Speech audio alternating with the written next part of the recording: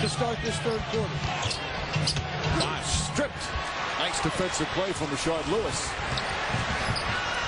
Redick. Joe Crawford took a tumble and got in the way. And then a foul on Wade.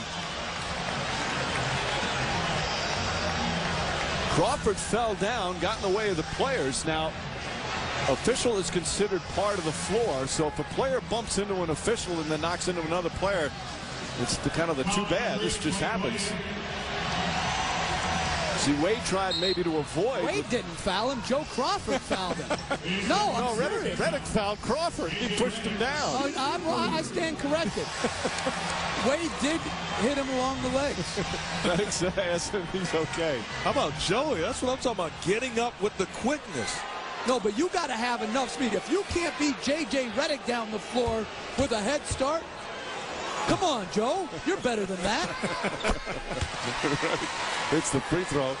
Our NBA calendar tomorrow on Thanksgiving. TNT, Washington and Atlanta. Sacramento with the Clippers.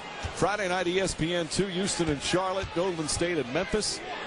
And then Saturday on NBA TV, the Magic will be in Washington, D.C. This is